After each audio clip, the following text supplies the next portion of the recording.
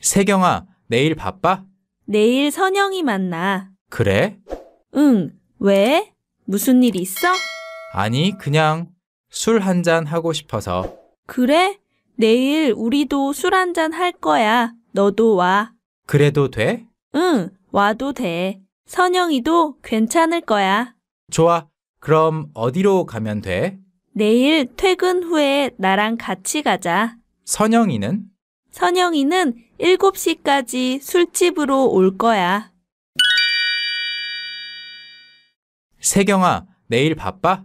내일 선영이 만나. 그래? 응, 왜? 무슨 일 있어? 아니, 그냥 술 한 잔 하고 싶어서. 그래? 내일 우리도 술 한잔 할 거야. 너도 와. 그래도 돼? 응, 와도 돼. 선영이도 괜찮을 거야. 좋아. 그럼 어디로 가면 돼? 내일 퇴근 후에 나랑 같이 가자. 선영이는?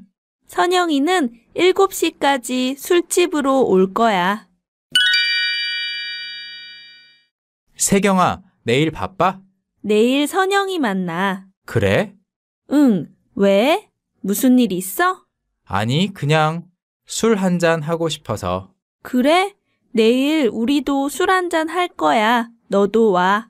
그래도 돼? 응, 와도 돼. 선영이도 괜찮을 거야. 좋아. 그럼 어디로 가면 돼? 내일 퇴근 후에 나랑 같이 가자. 선영이는? 선영이는 7시까지 술집으로 올 거야.